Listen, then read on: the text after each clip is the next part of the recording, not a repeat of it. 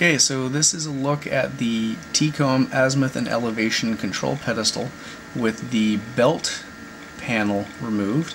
So what we're seeing is the drive mechanism for the elevation control. At the bottom here we see a DC motor and it's coupled to this 40 to 1 ratio drive assembly which then actually commands the elevation control through a rather large gear in the back.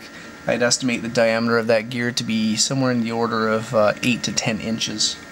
So I'm sure there's quite a substantial gear ratio. And now if we spin this around using the manual slew, we'll get a look at the other side.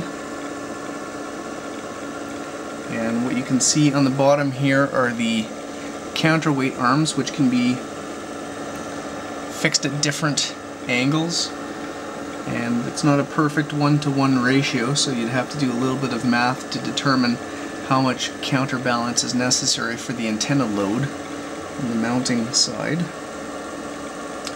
Okay, so this is sort of the brains of the mechanism here. Uh, so this is a synchronizing transmitter and as I deflect this a little bit you may see a little bit of motion in the elevation control and that's because that synchro transmitter is reporting the angular position back to the control unit so that it can precisely control the elevation of the antenna assembly. And they do use anti-backlash gears here and uh, that helps to increase the precision and this is accurate to 0.1 degrees.